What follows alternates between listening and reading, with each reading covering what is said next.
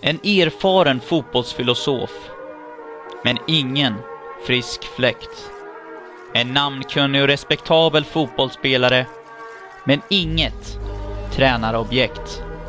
En oförmodad förändring utan någon större effekt. En uppblåst drömbubbla som successivt blev spräckt. Det skulle ta en lång tid innan det svartvitrandiga fann någon med ett framtidsprojekt. Någon lämplig kandidat med ledaregenskaper som inger respekt. Någon som kan få en hopplös, svag och argsint gammal dam att återigen bli väckt. Någon med ett gott intellekt vars beslutfattande oftast är helt korrekt. Och någon som kan stå emot allvarliga anklagelser utan att bli knäckt. Det dröjde länge innan en kvalificerad tränare blev upptäckt.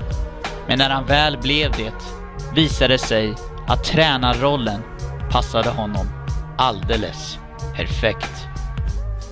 Sedan Antonio Contes ankomst har Juventus genomgått en metamorfos.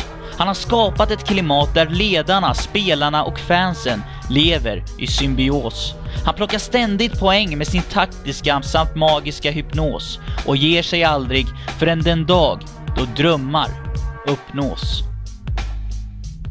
Medan tränare efter tränare fick byta arbetsplats lyckades Conte ta vara på sin tid och skapa ett praktfullt palats. Medan Juventus var på väg mot en total kollaps räckte Conte ut sin hand och visade truppen vad som krävs för att nå en första plats.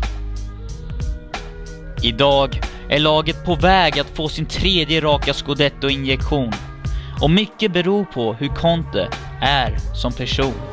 Han är en gentleman med en tydlig vision. En som i alla lägen kräver perfektion. En som uppenbarligen brinner för sin passion. En som vid rodret har fört sitt lag mot en helt annan direktion. Räddat oss från en djup depression och infört en ny samt växande fotbollsgeneration.